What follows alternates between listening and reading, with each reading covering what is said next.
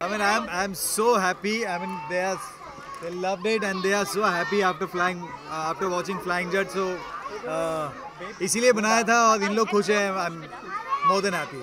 तुम लोग अच्छी लगी Flying Jet?